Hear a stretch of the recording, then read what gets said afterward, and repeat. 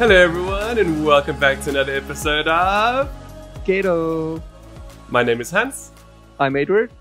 and we're your hosts for now and forevermore. Or until we succumb in like post COVID party or something. um, if you're new, welcome to the one of the best variety podcasts on the internet. If you are a regular listener, welcome back, bitches.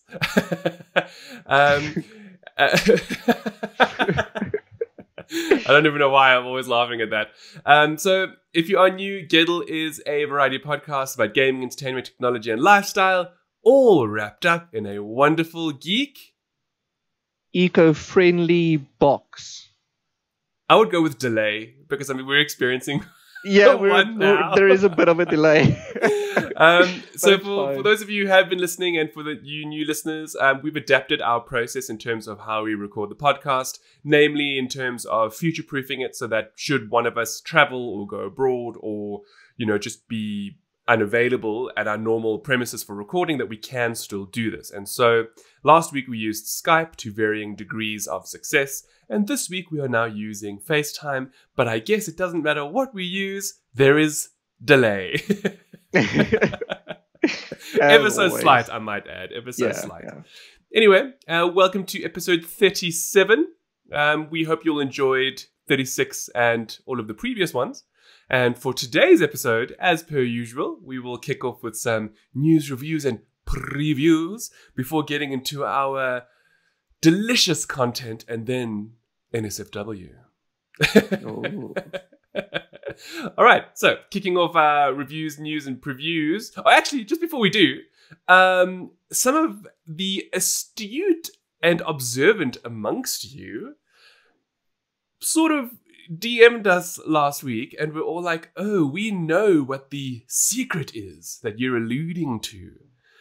Oh. We cannot confirm nor deny the accuracy of your statement. Um, but we will say that you are kind of maybe on the right path, if that gives away anything. Of course, should we be so lucky, next week you will all know if you do watch, and if you listen, of course, we will speak about it. But until then, back to our regular programming. okay, so um, I recently watched uh, La Révolution on Netflix, which was really good, if I must be Okay. honest. Um, Good. I mean, I saw, I saw the trailer and I was wondering, like, oh, you know, this looks very interesting. So I'm going to speak about the show now as best as possible, trying not to be spoilery. But, you know, they give a lot of way in the trailer anyway. So I will sort of try and speak around that. Um, but even if I, I believe, even if I tell you what the general premise is, I don't think it takes away from the general plot. Mm. So, La Révolution takes place in 17th century France, and it has to do with um, the reign of Napoleon Bonaparte and uh, King Louis, and how you know if you know history, you you know how there was obviously the revolution, and um, you know how how the the commoners, for lack of a better term, or the bourgeoisie, the bourgeoisie rebelled against the you know the kings and queens of the time, the monarchy, because they Yeah. felt that um, you know th- they were being done dirty. If there's another, if there's a better Unfairly treated. Yeah. Yes, unfairly treated. And you know, for the Yeah. most part, they were. I mean, if you do go back and look back then, uh, you know, the royals of the time were really being, you know, had opulent lives, whereas you know there was a lot of poverty. Anyway, so La Révolution, it it looks at that, but it has a really cool sci-fi spin to it, which was not necessarily unexpected because if you watch the trailer, they, they, they talk about blue blood. Okay, now everyone who knows of history and the monarchies and things and royals has heard of blue blood, which is meant to signify um, somebody of noble descent. So that gets taken to another level in La Révolution, whereby there's something special about blue blood and what it does to the royals and how it's a legitimate thing and it's not So- made up. Is it a scientific thing or a natural thing? Okay, so I won't I won't spoil where it comes from or how it happens or whatever. What I will say is that it turns out there's actually this overarching plot by the nobles to give people the power of blue blood. And in so doing, the rebels find out about it and try to stop it from happening. And that's how the whole show plays out. But it's just, it's, it's really exceptional because they take that wonderful history and they just give it that fantastic conspiracy theory spin, you know, where you're like, oh, you know, and, and like, I don't want to say too much, but the way that the nobles who have blue blood begin to act, you're kind of like, wow, that makes a lot of sense as to why they did what they did back then. You know? Okay. Okay. it's okay, so other than that, I'll say that the cinematography is it's outstanding. It's beautifully, beautifully, beautifully shot. And it has some of the most incredible audio as well. Um, Mm. I actually shared a, a song this week, which Edward knew a lot about the composer, which really surprised me. And that was one of the uh, the tracks that they played. It was, it's just phenomenal. It's just beautiful. It's really sad, but there's reasons for it. Anyway, if you are looking for a very, very good period drama that has a wonderful sci-fi spin to it, I highly, highly recommend La Révolution. And, and what makes it even better is that it's based in France, but it's a fully French produced show. So it's not like, you know, more recent Netflix dramas where it's German, but they all speak English. You know, and you're like, that doesn't make sense. You know? or like Bank Heist, which was Swedish but dubbed in English, and it was so bad. Yeah, exactly. So it's really just a very good show. Now, sure, Mm. along the way, every now and again, you know, there'll be uh, a familiar trope that presents itself in Europe, but like, eh. But they're, they're few and far between. Just the overall premise is intriguing, and don't believe the score on IMDb. Um, I know that I'm one of those people that kind of has like IMDb as my metric for things that I enjoy and don't enjoy. But I went, I went, I went and I looked, I went and I looked, and a lot of people are review bombing it because it's not historically accurate. And I'm like, did y'all bitches even watch the trailer? It's literally in the trailer that this is not that it's not historically accurate, you know. But it it obviously uses history as a base, and then has wonderful you know twists and machinations along the way that are like sci-fi related. It's it's very very good. I I wouldn't talk about it if I didn't think it was a good show for people Show. to invest their time into. Also, it's only eight episodes, long episodes, about 45 minutes to an hour each, but yeah, well worth it. Well, well worth it. And it ends on a cliffhanger. So I'm very curious. Well, look, there's more. There's so much I could say, but I don't want to because it, it kind of ends. It, will be very spoilery. So um, it, I'm looking forward to a second season. I'm very, very curious to know where they're going to go with it, given how the first season ended. it, it actually reminds me a lot of Assassin's Creed in a way, uh, the way you described it. Mm. Oh my gosh, yes. Thank I'm you for bringing that, that, up. didn't get review no, y- yeah. So, so um, while watching, I kept on getting super strong Unity vibes, but but Ah. not because of the. I mean, obviously, it's, it's it's human. The it's reality, setting. whereas a, a video game, yeah, but but the setting, and it actually Mm. really made me appreciate just how accurate Unity was for its time Yes. Given Yes. how incredible this show was. But you know, you're spot on, Edward. You're spot on with the little like little side quests, the things that happen in the show. Okay, anyway, I'm not gonna. um, okay, so um, other than that, there's there's been like a couple of things going on. We aren't again allowed to mention a lot of it because of embargoes and NDAs. Now, a little bit different to what we spoke about last week, because what we spoke about last week I still couldn't speak Oh. about. Yeah. Count your words anyway, wisely. anyway, so there's other stuff that we have that Edward is currently busy with. Um, Yeah. Again, stuff we can't speak about. So what what I can speak about, and if you are watching the video behind me, you'll see a uh, like a green logo. It might look familiar to some of you. Essentially, I am reviewing the uh, one of the latest um, Razer Razer Blades, right? The Razer Blade. I think 15, it's- I think. I think that's it. Yeah. Yes. Um, it's a gaming laptop. Uh, I, am happy to give my first impressions. Um, so far, so good. It's thin, much thinner than I thought a gaming laptop would be. Um, it plays games exceptionally well. It gets unfortunately hot. Um, but overall, I actually like it. I like it a lot more than I thought that I would. Of course, I'll I'll wait until next week to actually give you like a proper breakdown of what I think about it. But but right now, first impressions because I only had it for like one or two days. Um, mm. You know, but but so far so good. What I will say, and what I do want to talk about, and it's so going to make it into my video review if I ever get there, is just how disgusting this laptop was when it arrived for me for review. Look you know, Edward and I have been doing this for many years, right? We've been in this industry for a decade now. And, you know, uh, 90, 99% of the time, we get a product, it always goes back. Okay, you know, contrary to popular belief, where people think that, oh, you know, companies give out products left, right, and center, it's not like that. It, like I said, 99% of the time, you will get a product and you will have to send it back to the either the PR agency or directly to the company who sent you the item. Of course, there is the rare 1% yep. who are like, okay, don't worry about sending it back. This is for you to keep. Um, whether you review it or not is entirely up to you. And when those happen, you know, we are immensely appreciative because they're few and far between. Now, in terms of this laptop, it's a 45,000 Rand laptop. So naturally, it's going back. I mean, naturally, it's, a, it's a very expensive device. Now, sure, you know, you might wonder, well, then how do influencers do it? How come some other influencers get to keep it? Now, in those circumstances, there's often an agreement in place whereby the company will say, okay, we'll give you this, we'll give you this laptop, but then you have to produce content on it. Now, at Vamers, we have a very hard policy on the fact that we don't accept product or money or anything for review purposes. However, there yep. are circumstances where a company will give you a product regardless of whether you review it or not.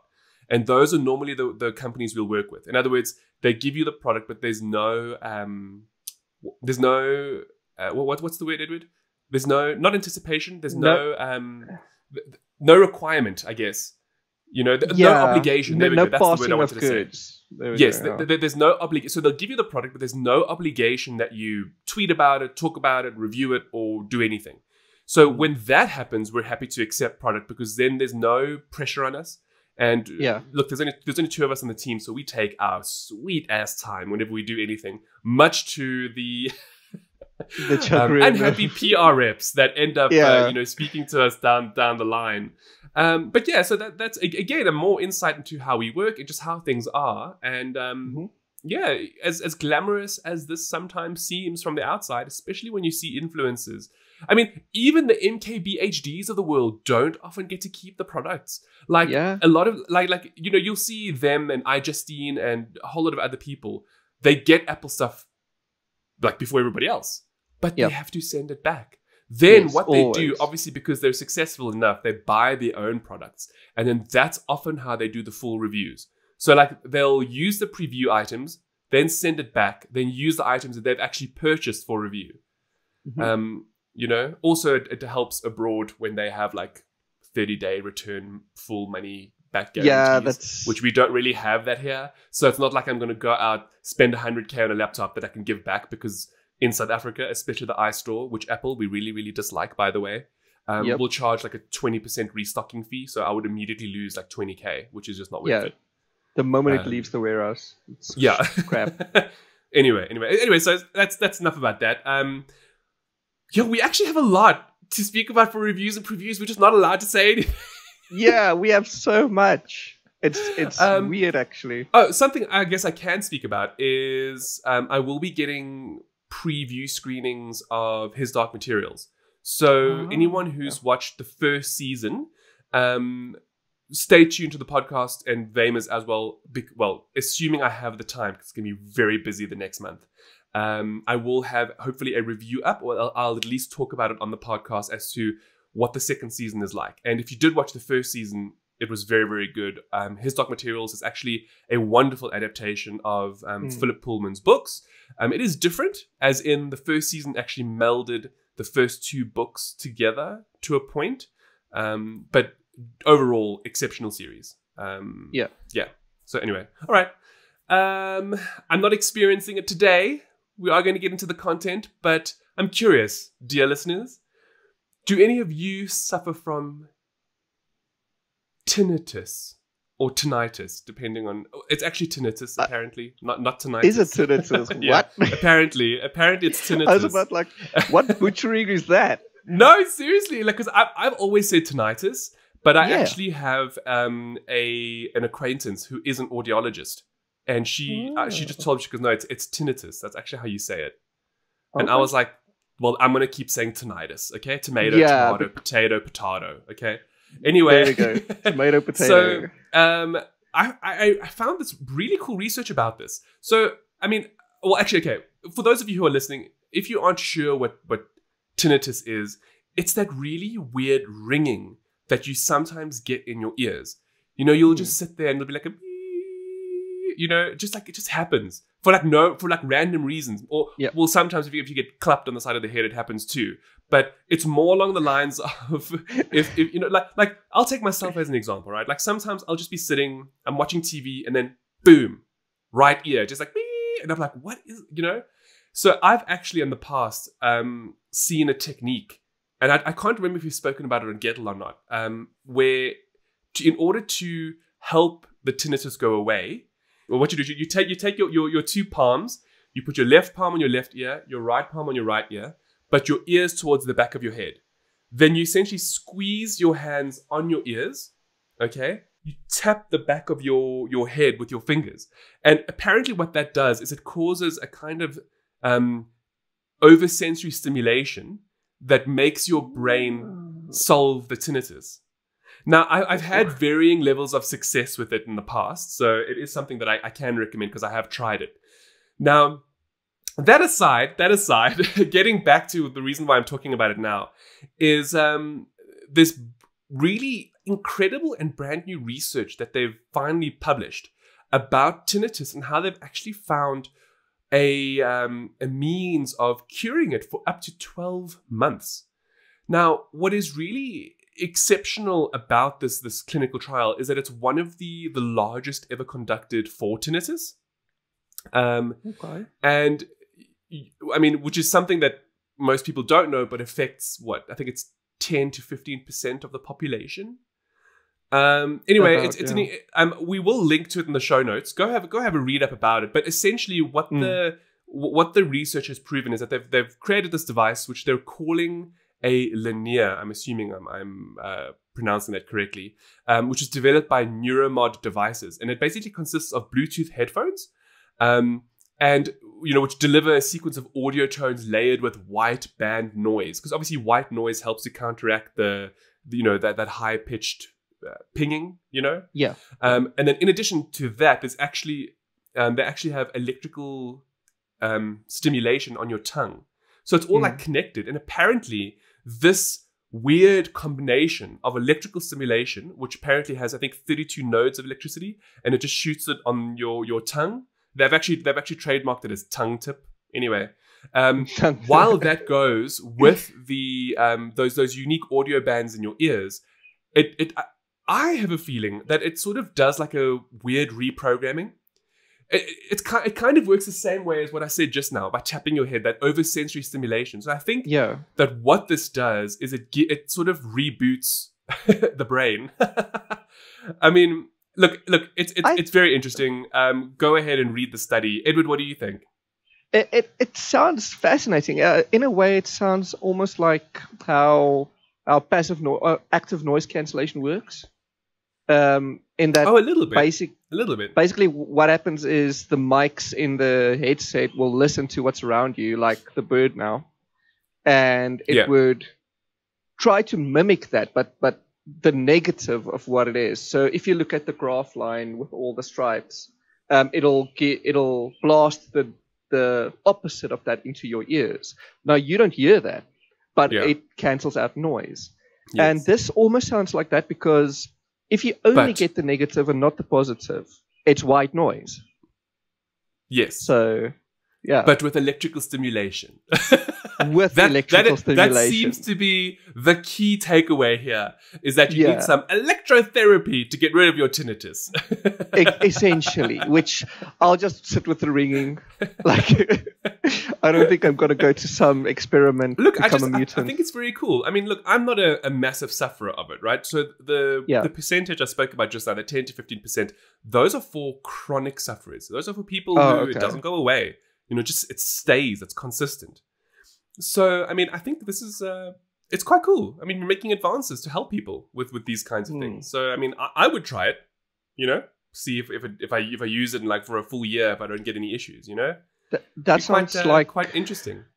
like something an evil doctor would use against you, you know, or or to make you a, a superhuman or something. Well, as long as it doesn't make us croak, right? Mm-hmm. Sorry for that very, very bad segue. okay, so moving on to something else that we both thought was quite cool. Um, okay, so we know that languages differ around the world, all right? Um, all languages sort of have different terminology for certain creatures, all right? Yep. Well, apparently the same applies to the way animals make noises. You know, like uh, the way that we would say a cat meows, you know, is different in Japanese. You know, it, it, it doesn't meow in Japanese. It it it does something different. Anyway, anyway. Yeah. So the, today's one is got to do with frogs and how you know the croak of a frog sounds different depending on the language that you're speaking. See, that's weird. Anyway, sorry. Why? Uh, the thing is, how do does something sound different? It just does. look, I look. I would imagine that this has to do with perception. You know, It- so like I do believe that the language you speak helps you determine the world around you. So Yeah. look, let's let's have a look at this a little bit, right? Yeah, so, yeah, yeah, yeah. Like, I mean, in English, apparently it's ribbit. You know, ribbit, ribbit, ribbit, ribbit. Makes That's sense. the, the the sound that a a frog allegedly makes. Now, if you take that and you apply it to, as I said just now, something like Japanese, for them it's kero kero kero kero. How? or for German, it's quack, quack, quack. or, or like, let's see, that makes sense because in Afrikaans we say quack as well. Ah, you see? Do you see what but, I'm but saying? Then, but then you get Hungarian, which is brekeki. Brekeki. That sounds like a cricket. or um, with Polish, it's kum kum, kum kum, kum kum. Or kam kam, if you want to. Come, come. Yeah, that's how I read it. Well, we aren't quite there yet. Uh, Or for those of you Korean, it's the podcast, you'll J cool. I, I don't think they pronounce the G as J though. Hey, Well, we do. I'm sure. I'm sure. I don't know. I Geku. don't know Korean It, it. Geku, Geku, Geku. I have no idea. I don't speak Korean. It sounds like a boy band. oh, it does. So, I mean, look, we, we obviously will always link in the show notes to these things. Um, Yeah. So we're obviously reading them as they're written, and like the Korean one is G A E dash G U U L, so it could be Gegul, Gegul. Yeah, or but it all depends on Uh, how a Korean person would pronounce the word G, I presume, yeah, or well, You know? any of those. or Italian, kra kra kra kra. Like Chinese is guo guo, but Yeah, I can't say I've ever heard a Chinese person use a g sound. a G sound. Maybe it's ho ho ho ho. Maybe, I don't know. maybe. So yeah, it's, Look, it's, it's just- all as you it's just fascinating, you know. So Yeah. like we're, we're talking about like how tinnitus and how that can like affect your your hearing, and that now we're mm-hmm. automatically moving into how languages determine the way that you can perceive the world. Hey, isn't that? It just I don't know. I just I thought it was an interesting thing. It's a very small segment that we're talking about now, but it's just really cool. Now I'm curious uh, for those of you out there, if you have any other interesting, um, you know, phrases from different languages that you think we should know about, let us know. DM, yeah, comment on YouTube, Instagram, Twitter. if you're Russian, I'm partial to that language. So oh yes, of course. Oh, I'm, look, I'm glad that that um, is French on here. How is French not on here? It is. It is. Is it? No, it's not. Oh no, I thought it was. It's Anyway, so I don't even know what it is in French, and I should know. Anyway, uh, yeah. moving on to torture. So yes, which is not what I thought it was all maybe, about. maybe you'll, you you'll, you'll scream out quack quack when you're being chopped up. Oh, brekeki. yeah. so, um, because I was watching La Révolution, and there were there's actually a very funny. Um, I, I think they did this on purpose. The people who who created the show. Uh, so like ma- one of the main characters is a doctor, and his surname is uh, like it's guillotine for like chopping of heads. Um, Yeah. and they actually make they make a fun joke in it in French in the show about it. Anyway, um, so obviously I was curious about the time period, and so I was looking it up a little bit, and um, I came across this really awful form of torture that they used to practice in China. Now, um, this allegedly it, it takes place in the, the Zhou dynasty. I, I don't remember pronouncing that. The, the Zhao dynasty, I think, um, which Zhao. is 1046 BC to 256 BC, and um, they used to essentially cut people up as a form of torture. Um, there were three main. Yeah, I know, right? There were three main uh, methods. One was waist chopping, which is literally cutting you in half beheading, which is taking off your your head, and then general dismemberment, where depending on the severity of your crime would depend on how many pieces you were cut up into. And I read a very interesting thing about that as well. No, seriously, where there was some um, some poet apparently offended the king or something, so he chopped him up into twelve pieces. wow. I know it's bad, right? It sounds And, and like bear in mind, we, we, we must we have to admit that they do this while they're alive, so it's not like they're Yeah. dead and then they get chopped up. Okay. It's like cartel Now- shit. Like Yes, yes. yeah, it's bad. So yeah, so the, the main one that I actually want to speak about now is the waist chopping one. So, um, it turns out, it turns out that it was, as I said, it was used for a long time, but it was eventually outlawed by the emperor known as Yongzheng. All right, but do you want to know why? The only reason why. Why? okay. So it, it, it, it occurred in 1734, which is not even that long ago if you think about it. No. It's only, what, like 300 and something years, right? Yep. Um, and it, it, it's unclear what he did wrong, all right? But he, uh, Yu Hongtu was an educational administrator and he was sentenced to execution by waist chopping. And the thing is, they did it, they chopped him in half, and what happened is he didn't die. So he he remained alive long enough to in Chinese characters and using his own blood write the words for terrible and awful and miserable. Wow. Seven times. He wrote it seven times in his own blood. They let him. That's what surprised me. Like they just No, never mind. crawl Well. I mean, and Well, th- this is the thing. This Wow. form of execution was literally just to chop you in half at the waist. That was it. wait, did, didn't we speak about like how you can live while still being chopped in half or something earlier? I think it was in one of our previous episodes we talked talking about it was decapitation. I think how many seconds you'd actually be conscious for before before dying. Yeah. so, so- obviously, So wow. I mean, look this. I mean, think about this for a second. This is terrible. So he he literally only died because he bled to death, not Pretty because he was unconscious. You Oh. know, I know, right? Anyway, so what happened is uh, when the emperor heard about this this this um this guy and what happened to him and how he was still alive, he then outlawed the practice of waist chopping. Well, So I guess that's one positive. yeah. and and also, um, do you want to know what, what's what's very interesting about this? So um, the the whole like waist chopping term, right? Um, Mhm. It's actually in modern day Mandarin or in modern day China, it's actually used as a metaphor for when a project is cancelled. You know, it gets chopped at the waist, it gets stopped. And interestingly enough, it's also used to ca- for when uh, TV shows are cancelled. They use that that phrase, that that that, waist chopping phrase. Wow. So, so Isn't that we cool? say it well, was, I mean, it's not canned, cool, but they say it was wasted. not not not Wasted. not wasted, but no, the, the, it was it was chopped at the waist. You know, it was it was prematurely Wow, okay, ended, that's cool. basically. That's cool. You know. Another way our interesting. languages differ. Yeah. Well, well, speaking about your whole wasted uh, remark, Edward, I Yeah. will have you know that you are not yet at your peak brain capacity or peak and I will brain have performance. You know that it's only downhill from the ear. Yes, I know. Thank you very much. So, what, what we're talking about is now. I, this study is or is incredibly, incredibly in depth. There is a lot of information. So I'm Yeah. really we're only going to discuss this very briefly because it's super, super, super in depth.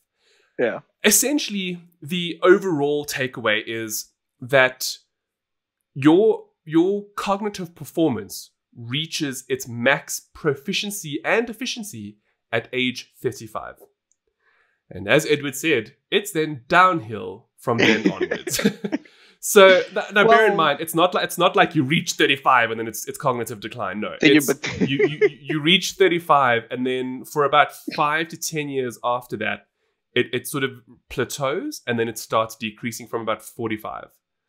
Um, now, now, of course, when I say decreasing, it's not like you've just become dumb. It's it's more along the lines of like when you're at the age of 35, your your brain is allegedly at its peak because now you have a very good um, maturity. First of all, so your brain has Mhm. reached a level of um, you know healthy maturity, but also you have, and this is weird because they actually considered this for the study, but you have experience and wisdom. So that's Hmm. why it gets classified as the optimal stage for cognitive performance because you have both a young and intelligent enough brain to perceive things, but that's also backed by wisdom and um, experience. Mm. So, you know, putting those things together, it means that basically between 35 and like 45, you have like optimal brain performance. so even if we like, I mean, I didn't think this, I didn't think so. I was like, you know, if I wanted to study now, how difficult is it going to be? But no, apparently it's actually the optimal time uh, Yeah. to really do to, to do many things in your life. Um, now, in, in terms of the study, I just want to speak a little bit about it. So it was very, very, very interesting because you know a lot of the times when we speak about studies and things, they're fairly short, you know, or they Yeah. have um, you know small sample sizes and so on and so forth. For this one, it took place over 124 years. Which is I mean, huge. it's insane. 124 Yeah. years and over 24,000 chess games. Because what they ended up doing is they used chess as the um, sort of as like the the the, the base um, for the study, how people Mm. performed when they played chess, and this is how they were able to find the um, sort of the the curve in performance in terms of your peak brain.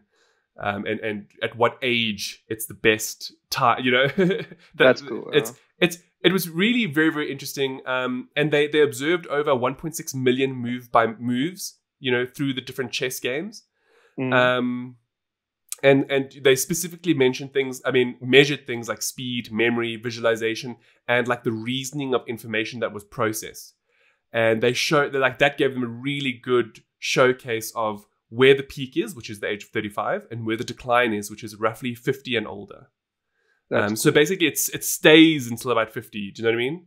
yeah. Um, so it's it's really it was really really interesting. And also, in addition to that, they say that your brain um, it sharply picks up in your early twenties. So Oh. basically, up until your twenties, you're you're sort of like your brain is actually still developing. It's still maturing. Um, and then from your early twenties is when it kicks into gear, and that's when you are most proficient at doing things quickly. Uh, that makes Um, sense. But and and then it reaches um, eventually reaches a plateau with a peak at 35, and then from there it, it it's sustained for many years between well depending on everyone's different. So let's say I think it's between 5, 10, 15 years depending on who you are, and then from then onwards is a there is a sustained decline, unfortunately. so, what what um, you're saying is, if at 35 I'm still working slowly and still not multitasking, I'll never be wor- working fast and multitasking. Listen, listen, listen. As per our previous episode, there is no such thing as multitasking. However, however, Well, um, task switching. yes. if if you're if you're still doing things backward at the time you're 35, There's no. then then then I suppose there's a bit of a problem there, and you really don't have much to to look forward to. But but now, as awesome as the study is, um, they used chess games specifically and chess players. Now that's Yeah. already people who are very analytical and tactical um, to begin with. No, no, no, no. Hold on, hold on, hold on, hold on, hold on, hold on. You, you Yeah. can't say that. So remember, we did speak about genius several episodes Yes. ago, and how genius is learnt Yes. through something like chess. Now, as I as I mentioned, the study is very in depth. Mm. It's very detailed. So if anybody is interested, go and read it. There's a lot more information there than Yeah, we're even talking about now. many okay? pages. Um, with with that said, you know the act of playing chess. Yes, as as you've mentioned now, it shows aspects of reasoning and strategic thinking and so on and so forth. But that doesn't necessarily make you better than the average Joe. In other words, bear in mind oh. when we spoke about genius in the previous episode, that guy purposefully made, you know, encouraged his kids to play chess for hours a day, Yes. therefore honing the skill. Now, these people w- that they got for this this study were not professional chess players. They were just the average Joe, like me and Oh, you, okay. sitting and playing a game of chess. With see? a basic understanding. with a basic understanding of how the Oh, game okay. works, and then and then ah, Okay. it goes it goes into depth about how they obviously analyze how people think and you know, the speed at which they made decisions and stuff like that. That's cool. And you know, it's very interesting because it shows how like you know the younger you are, the more rash and the faster your decisions are. But the older you are, the slower your just your your speed might be, but the better your decision making is in terms of strategic thinking. Because That- you've obviously had years of playing the game versus somebody who hasn't. Do you know what I mean? That's cool. It's a very look. It's a very very Cool. interesting study. There's a lot of really cool takeaways from it. Then of course, having said that, you know, an older player is much slower, but might not necessarily make this, the best moves. You see that, that that's sort of Mm, how they, yeah. they, they took it and they analyzed it. Anyway, it's very very very cool. Now, you have to also wonder to yourself: Could you fool yourself into being a genius by playing by playing chess? Like, Or are you really one? Is there a placebo effect, Edwin? yeah, that, that's what I'm wondering now. Ah, okay. So mind my painful segue. Um, there was another very interesting article. Again, I'm not going to speak much about it just because it's just more of a takeaway point, um, which I leave to you as our audience to think about. Um, there's new research over the last couple of decades with regards to pain medication.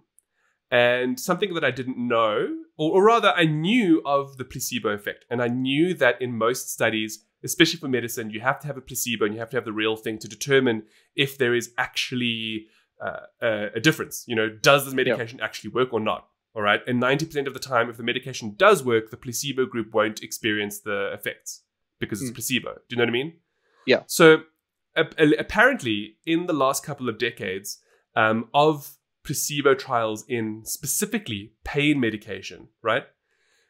It just so happens that the the differentiating the differential percentage of whether placebo works or not has shrunk in only the United States. As in as in what I mean by that is normally let's take an example, right? Let's say Panado. Just randomly going to throw it out there. Now, this is not because I'm speaking about fact. I'm just giving an example to illustrate this point. Yeah. You know, you have a test. So you have 10 people on the left, 10 people on the right. Left have placebo, right have Panado, right? And you, ta- you, you get them to take the pill. The, one of the 10 on the placebo say that they felt no pain. Obviously, mm. because it's a placebo, so it shouldn't. Whereas nine of the 10 for Panado said they felt no pain, therefore showcasing that only 10% of people for the placebo, um, you know, experience the placebo effect, if that makes sense. Yeah. Yeah. Okay. So, what this research has shown is that only in the USA has that placebo effect increased to the point that they cannot distinguish a difference between whether the medication is actually working or not in test groups. That's It's scary. the only it's the only Western country that has actually shown that change. As in th- they, they did similar tests in Europe as well, right? And I mean, I'm talking about these are tests over decades now. Hey? This is not just like done in a couple of months or whatever the case is. And they've shown that in Europe the the percentages have remained the same. So you like you know 20% of people in the placebo group say that they felt something. All right. Yeah. But that has, I mean, that that didn't. Oh, you you get what I'm saying. You get what I'm saying. Whereas that percentage has has declined so much in the states that that the difference between the placebo group and the actual medicine group is only something like six percent, Wow. which is Jeez. nothing. Like I mean, But- like like yes. So so so what the study then did was it kind of was like, okay, why is this? Why is this happening? Yeah. And there, there's no definitive conclusion. But you know, unlike a lot of countries in the world, um, as somebody who's traveled to America and who's actually seen American television, if you ever see an advert for medication, it's always they they list off all of the side effects and the symptoms. Okay, in Okay. the actual advertisement, whether or not you get them or not, it's in. They have to list it. Apparently, it's by law, right? Okay. So they're saying that that that coupled with the fact that um, medicine medicinal trials are very professional today, more so than they were 30 years ago. Whereas you know there are doctors there and they have their, their coats on, etc., etc.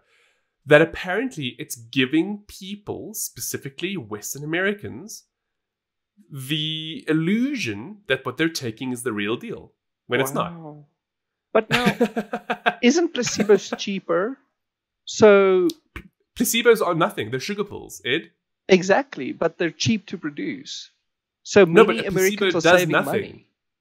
I know. Well, no, no, no, no. But this is the thing. So the tests are saying that the, the Americans can't tell the difference exactly. between whether so, this pain pill works or not.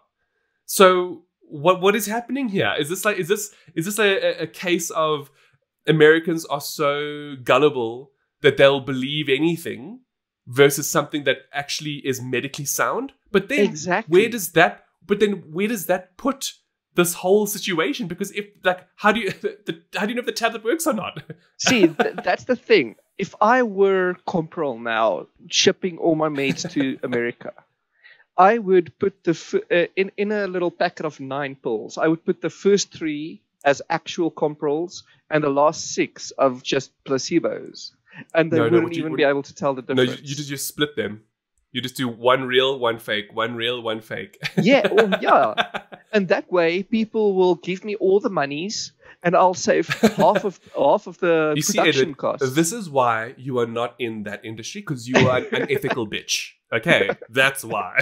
Okay? I would be. all for that money hey? All for that sweet money. That awesome money, yeah. so look it's just it's just interesting. And it uh, uh, like the the general consensus was that because things are perceived to be more medicinal that they believed it to work Yeah. look i don't know i don't know it's just it's, it's a fascinating study and i believe more research needs to be done into why only americans are exhibiting this why Mm. only americans are exhibiting a um an increase in placebo versus any of the other nations, specifically Europeans. You know, Yeah. like like is it because they're ill informed?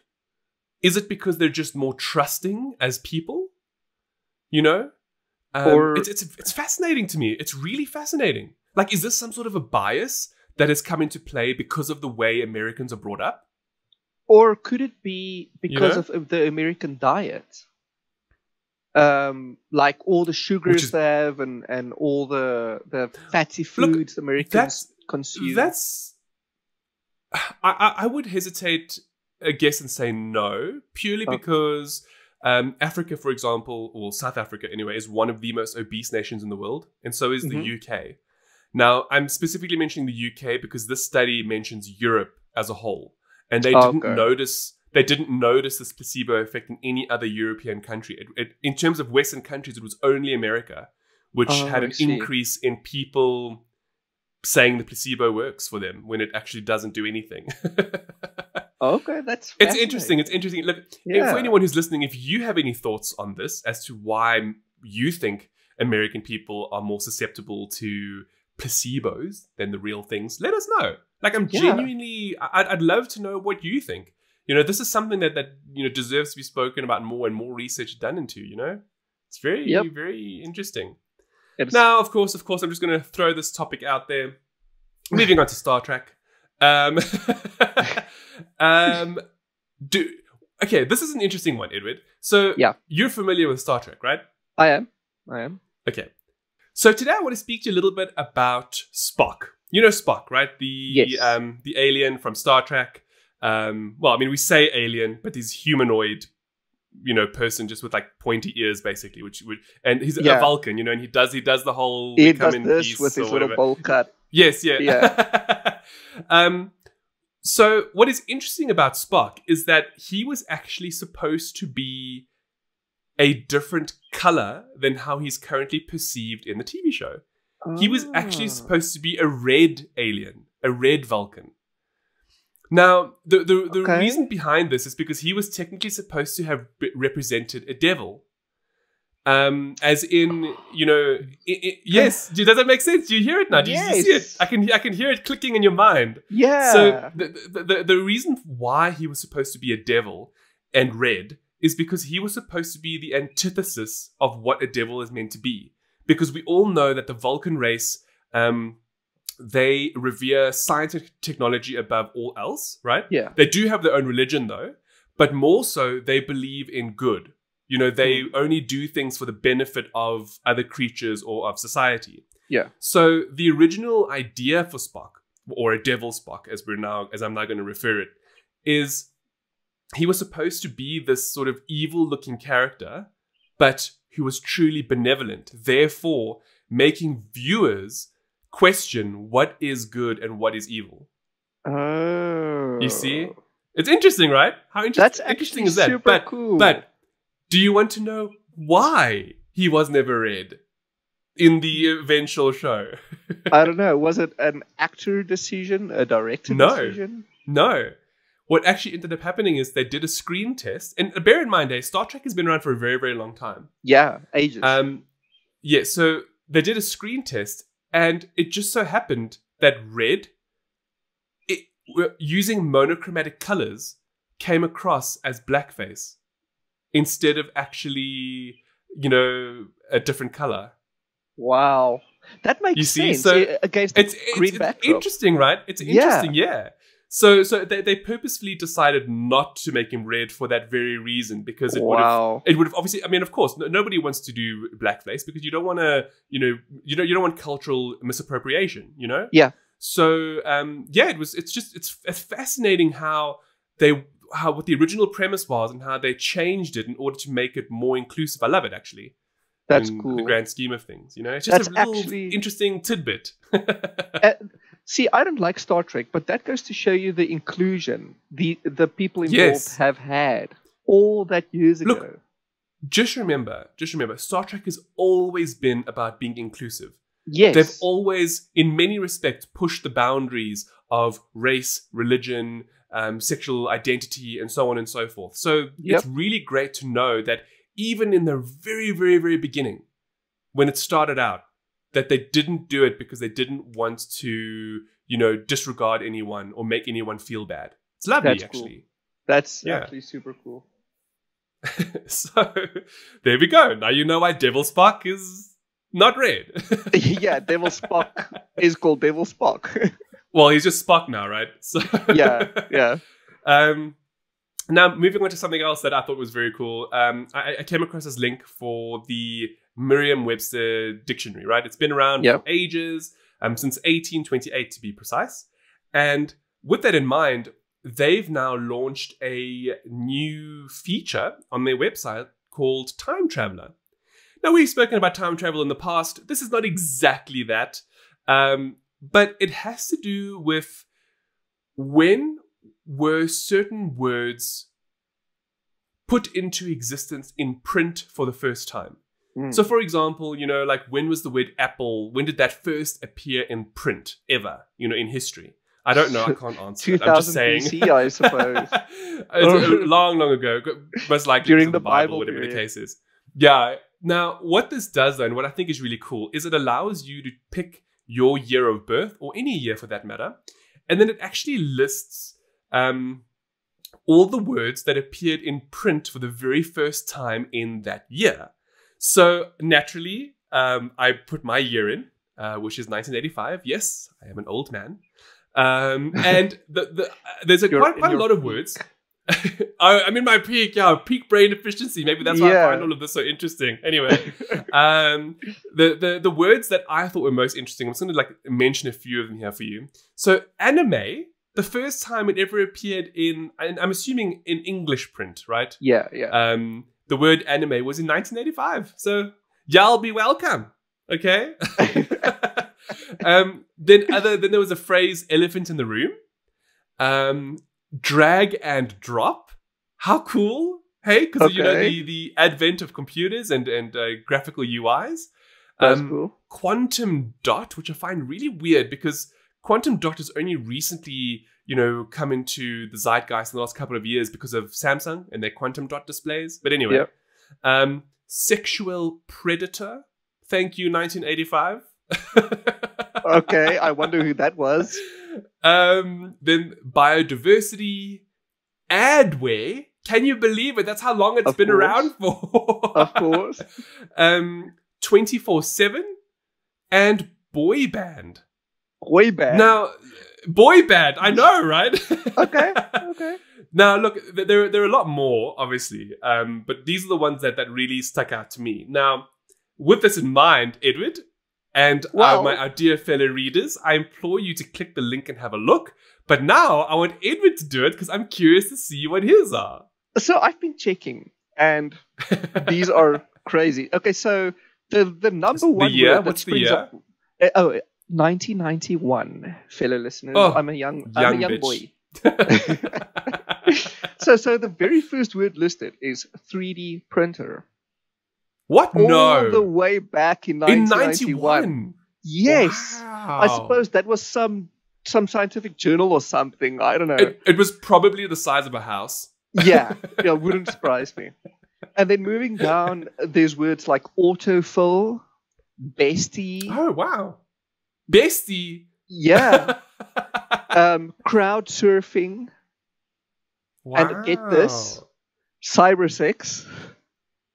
Oh, oh, For- okay. That explains For the everything. first time in That's 19- every. yes, this is hundred percent Edward. Hundred percent Edward. Okay. but but also words like gender non-conforming, granny What, panties. really? Yeah. Um, Wow. nanotech. Um, pescatarian. I, I'm Look, I find the gender non-conforming thing very interesting. yeah. that means it- it's been around for a very long time. So there's no excuse why in 2020 we still have issues. yes, honestly. that's exactly Hey. exactly. It's weird that we still have those issues. And then I have words like SIM card. Okay. Oh, I've got caller ID. oh well, there we go. and a few words I have no idea what it even means, like zoodle. yeah. So, oh, actually, it's, I'm glad you mentioned that. So you you know Plex, right? Yes. The Plex server. Yeah, I use it Plex daily. first appeared in 1985 in print. Why I don't know. What for? I'm not sure. Plex in all caps But- or just the word Plex? no, no, just the word Plex. Oh. I also, know. also, and Edward, you're gonna love this one. You're gonna uh, well, there's actually two here because I'm seeing another one here. Latte. You're Oh, welcome. Of course. Of course. I love my and lattes. and hold on, hold on. Crack house. Of course. of course, you, Thank you, would 80s, with you your know. birth. Jeez. The birth of wow, Crack House. Wow. This is amazing. Look, this is absolutely incredible. So I, you know, both of us would love for you, our listeners and watchers, go check it out. Let Yeah. us know. Just like tell us what are you, some of your favorite words that appeared in print for the very first time in your year of birth. yeah. I mean, it's it's such a it's such a cool thing. Now, with yes. wh- what was that term, Edward? That special term that we know that describes you Cybersex. Well, we're in it. with Not cyber sex on the mind. Welcome to NSFW. Uh, you're kind of jumping the gun a bit because I really want to speak about something Oh. else for a second. so, with all of that in mind, words and all, um, did you know that Viggo Mortensen can speak a plethora of languages? How Now- many? Well, at least seven has been documented, but no one really knows how many. So do you think there's more? Yes. Now, the, the reason no one knows is because he's a very private man. We don't know anything about Yeah. his private life except for who he's married to or was married to, I guess.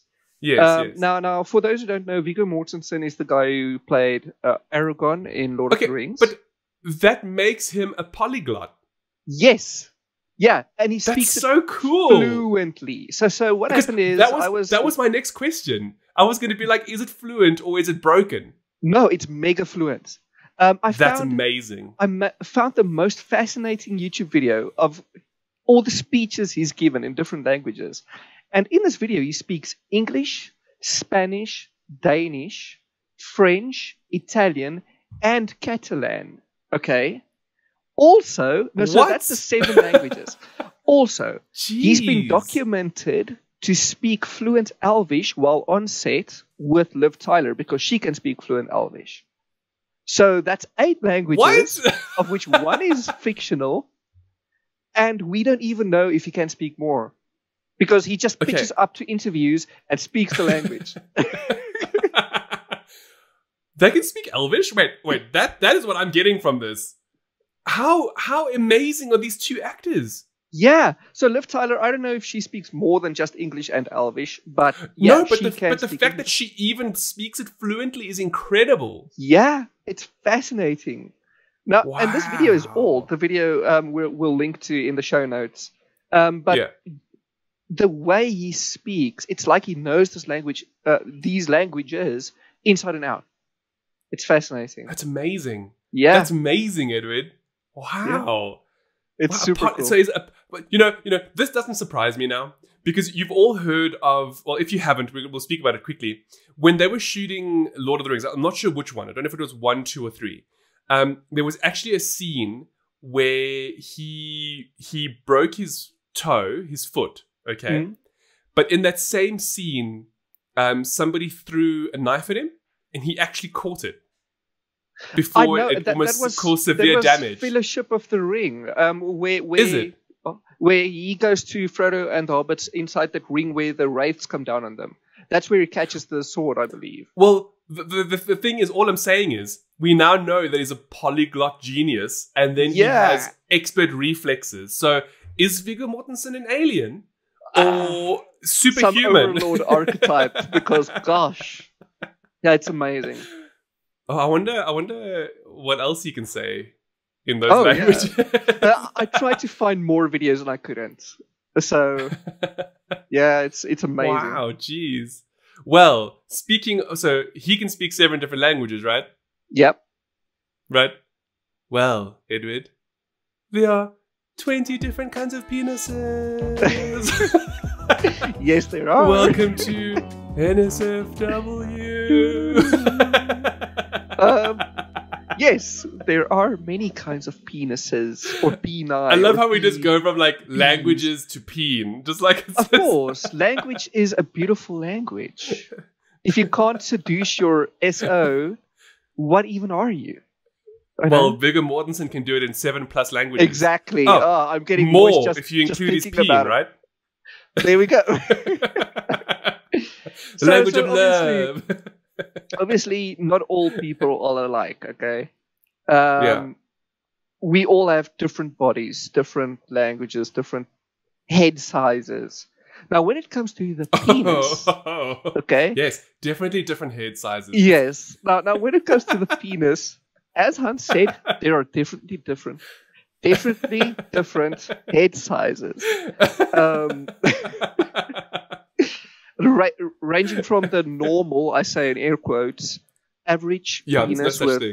Yeah, and then Yeah. there are something like the the grower, the shower, and obviously. So so yes, yes. with that in mind, I came across this fascinating little post uh, from Healthline, which is a publication that prides themselves in their their um, medically sound and accurate posts. So Okay. this one was written by.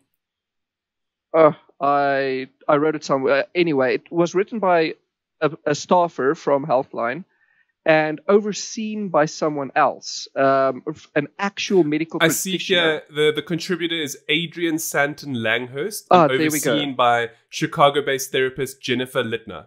Yeah, there we go. Now, now, now, we go. Healthline has an entire list of medical professionals that oversee all their posts to make sure it. I it- like that. it's not yeah, fake I dig that. That's good. Yeah, yeah, And- yeah. And in this huge ass list, they basically go through different types of penises. Um, but the, it, it's not a, a fact of whether they are good or bad. It, it's they they actually list what every single penis is good for. Um, so yeah, it's an inte- well, I'm actually I'm actually reading ahead here, and I'm not gonna lie, I'm I'm, I'm very happy with what I'm reading. well, you should be. Um, I say that as if I have any knowledge of what you're yeah, referencing. yeah, you, you have no no inclination Um, what. so the list goes through basically everything um, from the curved upward penis, which m- many men have, to the curved downward penis. Um, and essentially, what it says is the curved upward penis, for instance, it's very good for normal penetration because it stimulates all the spots that need stimulating. oh, damn good spots. Conversely, though, the curved downwards penis uh, might make a little bit difficult in missionary, but all the rear entry positions and penetration. All them best positions. it's actually perfect for those. Now, now going further down the list, they they explain how the bigger base with narrow head penis has solid perks, which is how its narrow head makes it easier for penetration, while its thick base essentially makes it better for penetration in a tiered way. It be multi-tiered action. yeah, um, and kind of then- kind of like like business business in the front, party at the back. that's literally what it is, I guess. Um, so I'm getting weird images. So obviously th- there's a lot, and this list is huge. So, yeah, so yeah. You said there's, um, there's 20 roughly. Yes. Now, now, it also goes into lengths and girth Okay. sizes. Um, and when mixed together, because obviously a length is nothing than just length, but if you mix it Yeah. with the other ones, you'll get quite interesting results, like how the average penis or the average penis is actually shorter than you might think. But I'll get into that in a little bit. Um, We all know this. yeah, we, we do, but you know, men. Yeah. Uh, what really gets me though um, is all the names they've given most of these penises, these types of Do, do you have some examples for us? Yes. So essentially, the curved upwards and downwards penis is referred to as a banana. Okay, it's the No, wait, banana wait, wait, wait. penis. No, hold on, hold on. But but you mean for either direction, whether up or down? It's just called a banana. Yes, yes. So they, they just call that the banana penis because it That is essentially so curves like a banana. okay. I know, but Uh, but and here's the kicker: stuff like the narrow base, large head penis, they just outright call a hammer because it looks like a hammer. Or how, or how the the average size penis is just a cucumber, uh, but the average, what, what do you mean? What? what? Why? Why? You, they just call it a cucumber? yeah, or the kielbasa is the shorter than average penis. Now I don't know what a kielbasa is. Do you? No. Uh, I thought it was some food thing. Um, but yeah, so and then uh, the salami. It is. It's a sausage. Oh, okay. Well, It's a type of meat sausage from Poland. how does it look? Average, shorter than average. It looks delicious. I don't know what you want me to say? it looks Well- it looks like caban, it looks like cabanossi. I mean, Well, on the topic of meat sausage, the salami is the larger than average bean, while the pencil is the same but with narrower girth. Ah, okay. Now, Oh my gosh! So, so, so hold on. So the term pencil dick is legit. yes, uh, it's it's it's larger than in length, but little tiny Oh. thin thing. Yeah, yeah, yeah, Um, yeah, yeah. and yeah, it, it the list also goes into penises with freckles, penises with hair, penises that's been circumcised, uncircumcised, and they even list growers and showers. It's I a long list. Look, I had no idea yeah, there were so many names. Like, why? I, I don't know. Is is there a vag equivalent of this? I will find out. But but my mission this week was to talk more about the penis because I've been talking about the vagina for so much now. I've been desensitized, and You know why? It's lovely. We love Yonic. Yonic imagery. Yonic everything.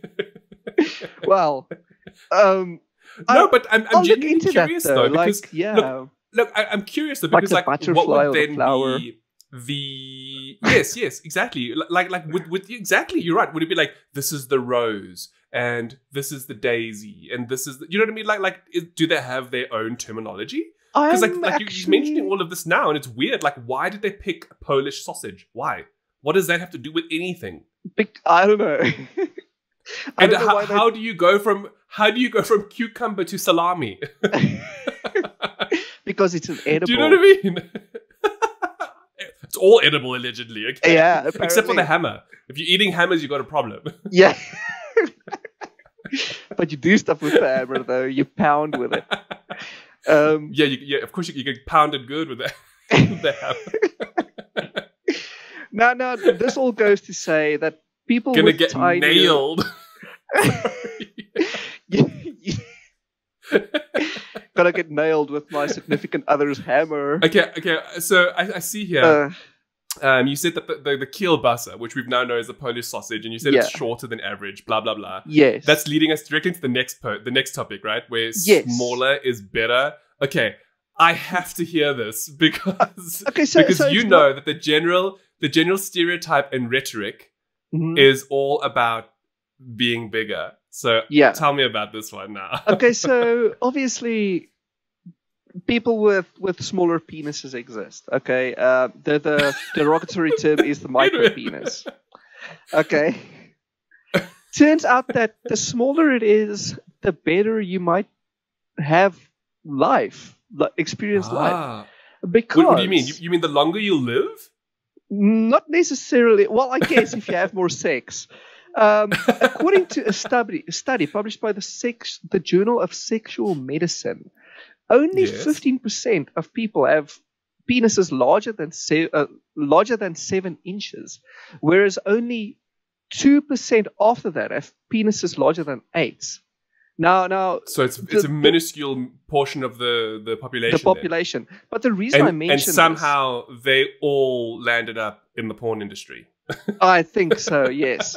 Now, the reason I mention this specifically is to to bring home the fact that even if you think your penis is tiny or tinier than average, chances are great you're actually in the average, um, and you'll actually get through life quite easily uh, because the average penis only reaches around seven inches. Oh, listen to me. Only reaches to about 5 I'm like inches. I'm like I'm like. I don't know where you're getting your averages from.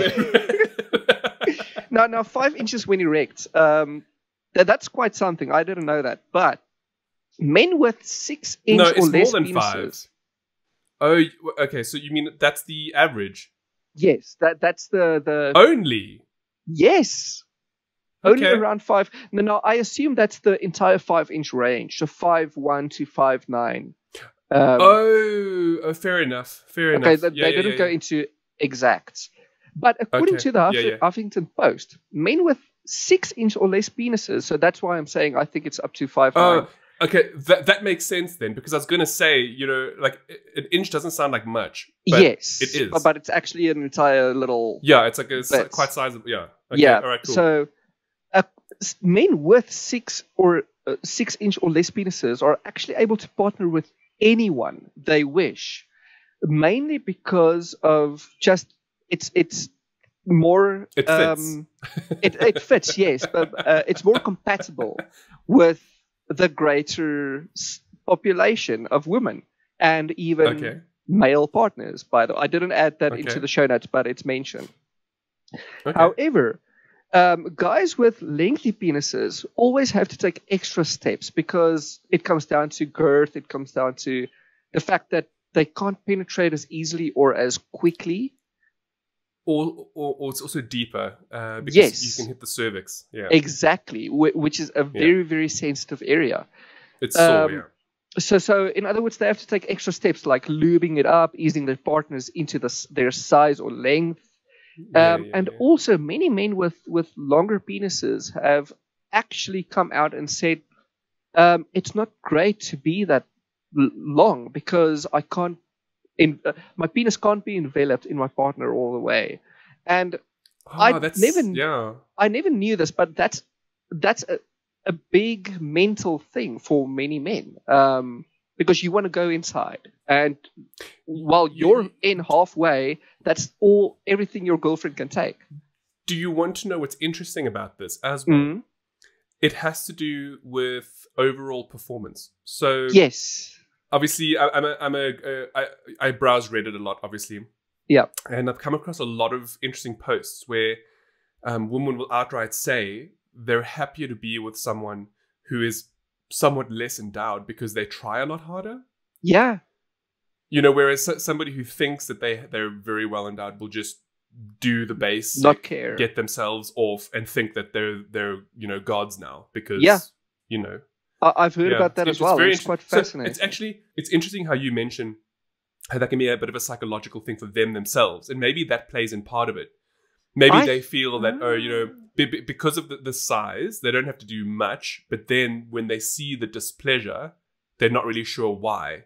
yeah, I get that. You know, and then and then also yeah. Anyway, it's it, I'm sure I'm sure it all like correlates. I'm I'm certain you're onto together. something actually, um, uh, because uh, on the topic of partners and displeasure, many many women, according to this Huffington Post article, have come out and said that men with smaller penises are just easier to give blowjobs for, uh, and it mainly or, or one of the main reasons is because it's less straining on the mouth and jaw. Okay, I can see your face, and I'm not saying anything. hmm so essentially, yeah, it, it can sometimes be straining on the jaw, uh, such as with partners with I don't know this long word, but TJ TJD, uh, which is what I have. essentially. Temperamandibular. Pre- yeah, something temporomandibular. Yeah, yeah, you're correct. Oh, is that is that to do with, With- the the jaw tightness? yeah, so that's when when your jaw, uh, when the I end of actually, your jaw I actually has a little bump a on it. very good. Yes, I actually have a very good friend who suffers from that, yes. And it was it was actually. I mean, I'm not naming names, but um, she actually had to go and have like uh, Botox injected into the muscle in order to help loosen it and that. wow. And um, let's just say that they, her and her husband have an agreement because that is never happening ever again. unfortunately, it's purely seriously. The doctor said she said that she can't. She's not allowed. To to Yeah. do more Botox. No. Oh, to do okay, Yes. okay. That's sad. Anyway, Yeah, a maybe maybe the husband is well endowed then, I suppose, because apparently giving blowjobs to it's a tinier, shorter, and thinner penis is just easier for people suffering from this. And yeah, Okay. that's quite fascinating. So the point is, if you have, if you think you're tiny, you can rest assured that you'll probably go through life with ease. Whereas those of us with, who have been well endowed yep. need to take a few extra steps. Now, Just a few more. in, not too in, bad. Hey, Edwin. in re- just a few more. Um, in researching this, I came across another. I see. It's like it's not post. stopping. The facts keep going. yeah, it's it's a whole lot of lists, okay, today, but lists are good. So, ten penis facts. I'm not going to list all of them, but Okay, I'm going to go through the yeah, yeah, main yeah. Ju- ones. ju- Just, give us, give, a- give us a, a, a few because I'm sure if we, if we had to do all ten, we'll speak for another hour. okay, so surprising fact number one: Did you know that babies sometimes exit the womb with an erect penis?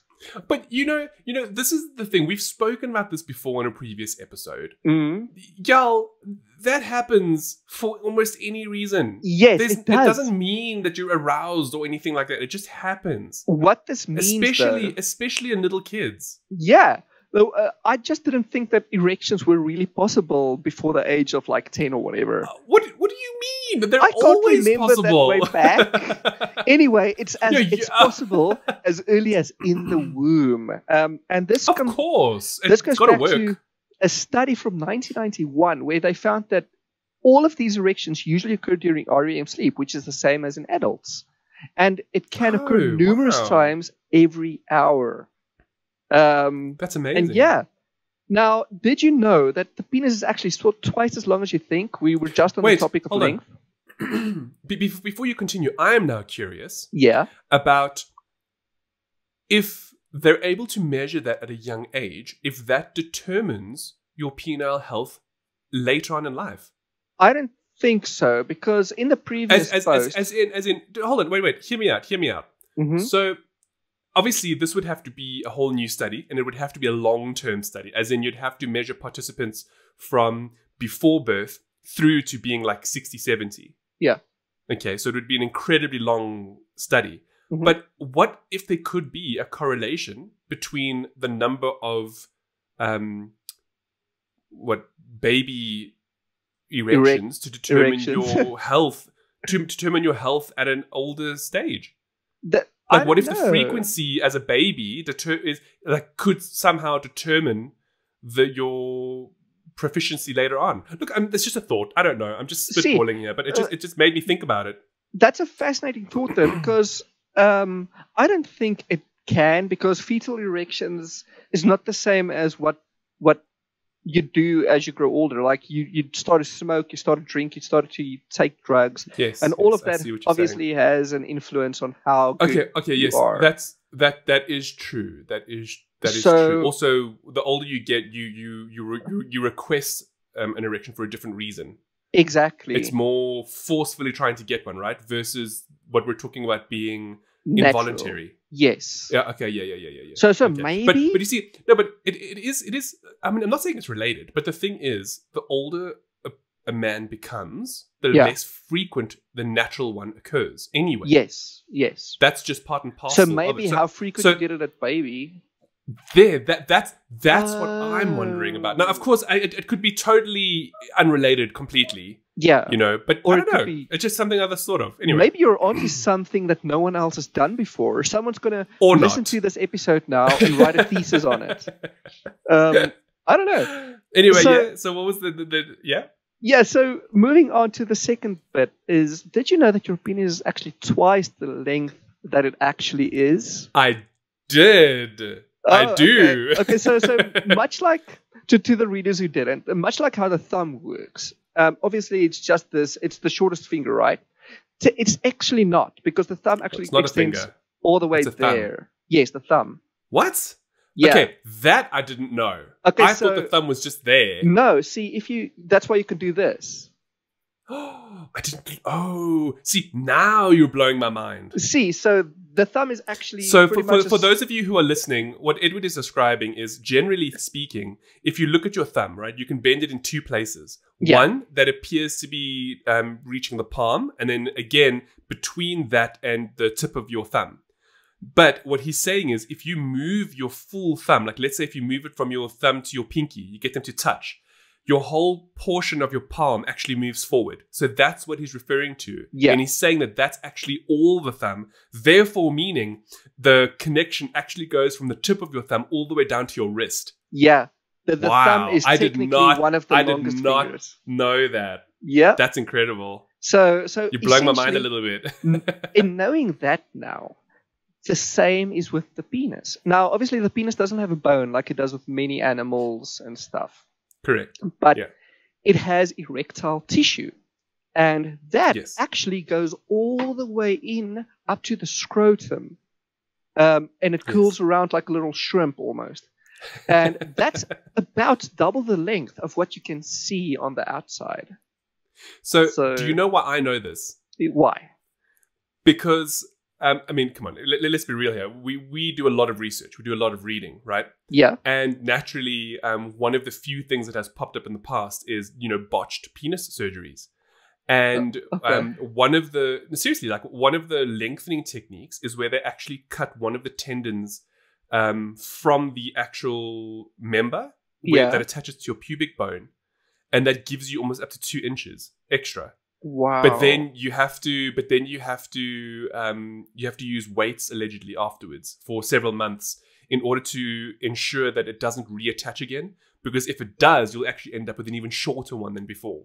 Wow. Isn't it? I know it's it's fast. It's, it's well, yes, of course. Who I don't want. I don't want to do it. I have no need for it. But I'm just saying that people, you know, have done it, and it is a means of like elongating it at least from a length perspective. Wow. Um, and I just thought it was fascinating. That's actually how I inevitably learned about how it actually goes really deep into the body, and it's not just what you see externally. Wow. so it's okay. quite uh, it's quite quite fascinating. Yeah. it is super fascinating, actually. Jeez. Okay.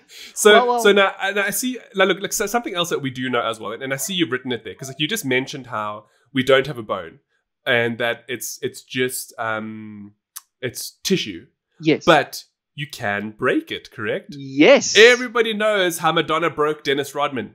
Okay, so Yes. so essentially, when it breaks, um, because it's not bone, it's it's just uh, the rupturing of the tissue surrounding yeah, the the bit that can engorge in blood, which makes it erect. Now, this sounds horrible. Apparently, it it sounds like uh, a a weird crackly noise because I actually went and searched for videos. what? Not no, videos, sorry, sound really? samples. Yes, I did. I didn't link them here, but I did, and it sounds horrible. Um, and ac- according to this Okay, post, wait, wait, wait, wait. I need to stop you there. I need to stop you there yeah, because we are going to play it good idea. right now. Oh, Right? Mm-mm. Exactly. I'm done now. Thank you so much No. for coming and participating, everybody. now, now, if that happens to me, I might die. Okay. Because Well, I- holy look, crap! look, look, I have a high pain threshold, as I found out, but I do think there are certain things where, like, I think if I had to see that, if I had to see it bent, and that if I had to hear that noise, I would. I think I'd probably pass out. Yeah, it, it's. I think I yeah. Now, now on the topic of passing out or dying, another fact they list is oh, what? yes. So obviously, I, we we mentioned how you start life with an erection. Okay. oh, you also. Oh, yes, I know that. Okay, I know this. You also end life with one. Now, not everyone, obviously, but many men Most people, yeah. actually, not the entire body goes stiff, not just your limbs. okay, if you die. Now, no, now this list is long, and skipping it, um, it also details percentages of where men actually rise. So, so on a on a little, I forgot what it's called, but the the thing that shows the degrees of something so going just around. degrees the angles, right? Yeah. yes, okay. that, uh, um, from the flaccid state, you, the assumption is that many men go at least 90 degrees or higher. Okay, from flaccid downwards pointing. Uh, oh, oh, oh! I see. Oh, I see what you're saying. I was, I was just going to be like, what? Okay, so so w- when the penis becomes erect, it, it Okay, so in other words, if, if if we if we take like let's say um let's take a 180 degree angle, correct? yes, yes, and we're, what we're saying is 90 degrees is fully down, yes. 45 degrees is midway, and zero degrees is fully up. Correct. Well, zero is down, 30 is midway, and 90. Oh, so sorry, Okay, 90 is midway, and 180 Yeah. is up. That's how they did this. okay, anyway. fair enough. now, Okay, it turns out yeah, that yeah. only 31% of men have their penises point between 60 and 85 degrees, which is not even horizontal, if if that makes sense. Um, while Oh, 20% of men and a further 5% of men go yeah. beyond that. They go be 90 between 90 and Okay, but- um, Okay, but what's better though, or nothing really? There's no it's, real. it's not about being uh, being better. It's more just a fact. Um, I don't think it this affects at all how you use your penis. Well, then again, I shouldn't even be asking that question after our previous discussion because Ex- it turns out it doesn't matter. Exactly. It's all about the, Right. the type of penis you have more so than Yeah. where they point. but conversely, only 5% of men actually have their penises point downwards. In other words, t- between 0 and 30 degrees, which is essentially it gets erect, but it doesn't rise. I've seen that before. Yeah, me as well. And I always thought Yeah. it's just like someone who didn't bother or something. Haven't you noticed that, that, that okay, I mean, let's all be real here because we speak about the NSFW a lot. Yeah. Haven't you noticed that a lot of the times those are those ones that are super well endowed? Yes, I have. So it Yeah. could be Yeah. it could be a muscular thing, a body thing. Well, it's not it's not exactly it. I'm just saying that from what we've seen on TV, Mm. generally those huge, huge ones don't go go up very much. Yeah, and I just think Yeah. it's your body just can't handle the weight. That's what I'm thinking. no, it can. I'm just saying, generally. anyway, um, and it also lists growers and showers. Um, uh, essentially, half Very half. interesting stuff here. Yeah, and also the cornflake myth about preventing masturbation. It's fake. The what now? The what myth? So we all know cornflakes started. Uh, the, the, their entire marketing hype surrounding cornflakes, and the reason you should use it in the morning, comes from the fact that they marketed towards um, not getting aroused during work period, work hours, and What? during school. I have I have never heard of this before in my life. Really? Cornflakes, Kellogg's cornflakes. Yeah, the, the Dr. John Harvey Kellogg, the guy that that founded cornflakes and created cornflakes. Yeah. That's how they marketed it as. Many people What? still believe this to be true. That it you can't get an erection when you eat cornflakes. It doesn't rouse you. Are you ki- what? Oh my gosh! Yeah. this is ridiculous. that was an actual selling point. Who in their right mind would want to eat it? it, it- it- okay, so the, the post says it was meant to lead Americans away from the sin of masturbation. Cornflakes. Yes. I, I can't. I, I know I don't know, but apparently many people, um, including people I know, old people I know, still believe this to be true. And it's not. It's it's I a had myth. no idea. Yeah. Oh, well, of course it's a myth. Of course it's a myth. that's wow. It's just sugar and corn. It's all it is. What? Edward, you, you've you've blown my mind a few times now in this NSFW section. Thank you. That's the power because of this, I mean, baby. that's this is great. I mean, unfortunately, we've reached the end of it now. Yeah. So NSFW. But wow, what a great segment! yeah. Going from cornflakes to your thumb. Wow, wow, Yeah. wow. In that sound, even. So this that's wow. Okay, interesting. Very thank you. Awesome. Yeah. I, I can't I can't believe it. End of episode thirty-seven. Yep. Uh, to those of you who've joined us, thank you so much. As always, um, we and we and we say this at the end of every episode, but we really mean it though. Um, you know, we love the submissions, we love the DMs, we love the comments. And to this few special few of you out there who leave us really long and good feedback, thank you. You know who you are. Yep. Um, next week, we're hoping we can reveal some of the secrets. Actually, there'll be two things we, that, well, well, one definitely we will speak about because we already have it in our possession. The second one remains to be seen, but we, we can't say what just yet. And then there's a third one coming up as well, which we still can't say anything about. But in the near future, it's been a, let's just say it's been a very, very, very exciting week for us. Very exciting. two weeks, actually. Yeah. Very exciting two weeks for us. Um, Edward, this has been a pleasure as always. Wow. Thank you. I love, love, love, love, love that last section. Good. For real. Good. um, yeah, so for those of you who are listening, thank you so much for tuning in. And we look forward to seeing you all again next week. Ciao for now. Bye.